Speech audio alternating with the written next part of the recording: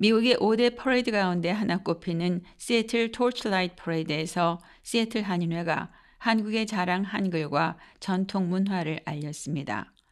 퍼레이드 82번째 팀으로 출발한 시애틀 한인회 팀은 27일 시애틀 다운타운에서 펼쳐진 제75회 토치라이트 퍼레이드에서 오후 3시 시애틀 센터를 출발해 사가 길을 따라 세네카 스트리트까지 2마일을 행진했습니다. 워싱턴주 한인사회를 대표해 훈민정음으로 장식된 대형 배너를 앞세우고 약 100여 명의 퍼레이드 팀이 참가했습니다.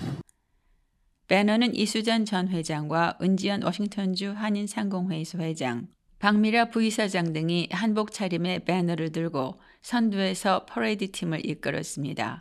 뒤이어 나훈숙 시애틀 한인회 이사장과 윤혜성 전 시애틀 통합한국학교 교장이 가로 세로 20피트의 대형 태극기를 들고 행진했습니다.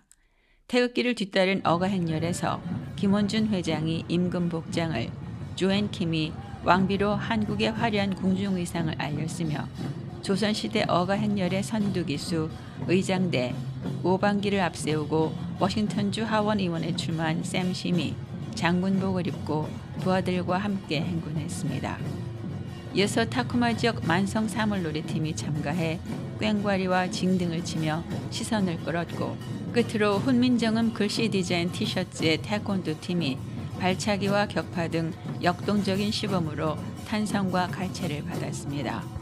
김원준 한인회장은 올해로 75회인 이번 시페어 토치라이트 퍼레이드는 한인 1세대와 2세대, 외국인들까지 다 함께 어울려 그야말로 우리 모두 하나가 되는 한국을 알렸다며 무엇보다 총 감독을 맡아 퍼레이드를 이끌어준 우인보 수석 부회장과 조기승 전 회장이 감사를 전했습니다.